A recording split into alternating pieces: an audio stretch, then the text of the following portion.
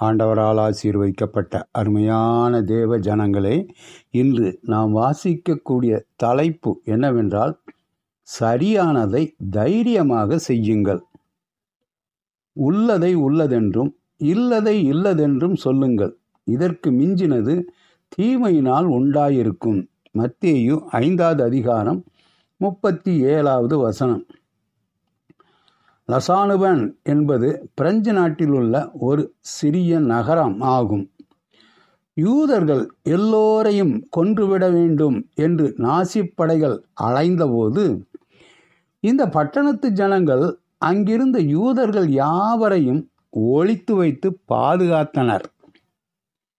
யூதர்களை யாராயிலும் தப்புவித்தால் அவர்களுக்கும் மரணம் நிச்சயம் என்கிற நிலை இருந்த போதும் அந்த நாட்களில் இந்த ஜனங்கள் இவ்வளவு தைரியமாக எப்படி செயல்பட முடிந்தது என்று அறியும்படியாக ஒரு பத்திரிகை நிருபர் யுத்தம் முடிந்த பிறகு இந்த நகரத்திற்கு வந்தார். அந்த நகரத்து ஜனங்கள் அவரிடம் நாங்கள் வாரந்தோறும் தவறாமல் சபை கூடுதலில் கலந்து கொள்ளும் பழக்கம் உடையவர்கள்.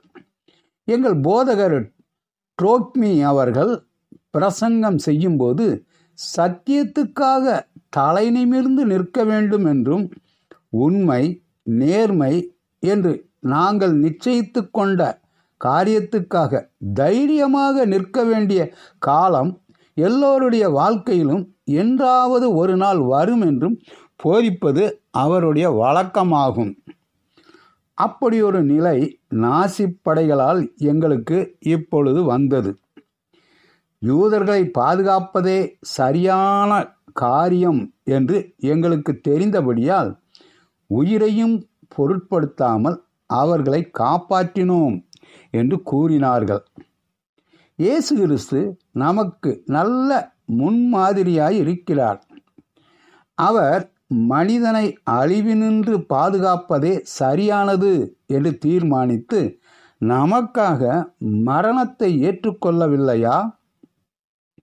தேவனுடைய பிள்ளைகளாகிய நாமும் சரியான ஒரு காரியம் என்று எதையாயிலும் தீர்மானித்து விட்டால் அதை நிறைவேற்றுவதற்காக துணிந்து நிற்கும் தைரியம் உடையவர்களாக இருக்க வேண்டும். அதற்காக என்ன துன்பம் வந்தாலும் ஏற்றுக்கொள்ளவும் வானமே இடிந்து விழுந்தாலும் பின்வாங்க மாட்டோம் என்ற தைரியமும் வேண்டும். தேவனுக்காக சரித்திர காலம் முழுவதும் பெரிய காரியங்களை சாதித்தவர்கள் இப்படி உண்மைக்காக துணிந்து நின்றவர்களே ஆவார்கள். ஆண்டவர் தாமே நம் அனைவரையும் ஆசீர்வைப்பாராக. ஆமேன்.